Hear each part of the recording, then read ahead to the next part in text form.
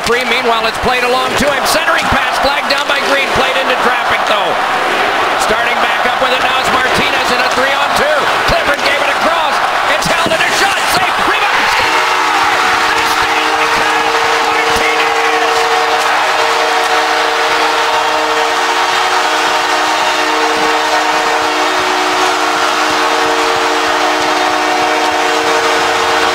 Scored the OT winner in Game 7 in the Western Conference Finals against the Chicago Blackhawks.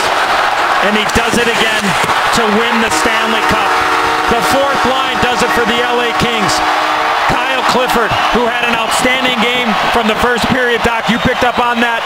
And Tyler Toffoli had one shift in the third period. And then Daryl Sutter gave him the opportunity. He gets the puck to the net, the big rebound, and the reaction from Martinez.